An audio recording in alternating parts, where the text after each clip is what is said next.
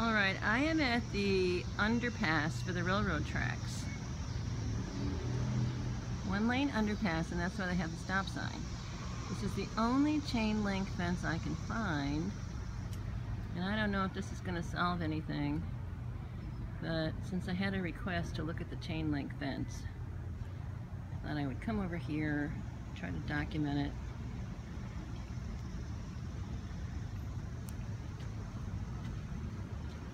Has a rusty old chain and lock on it. I suppose somebody could jump over it if they wanted to, because it's on a hill. Uh, don't see anything suspicious over here. But, of course, I don't know what you're looking for.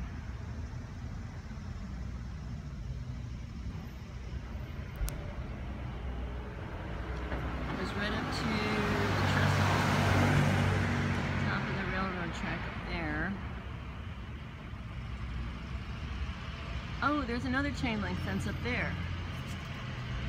Is that the chain link fence you were wondering about? Um, I would have to walk down the railroad tracks on the other side of the parking garage. I don't know if that's what you're looking at.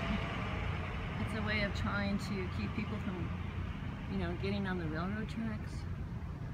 Anyway, that was so cool running into my friend Lori.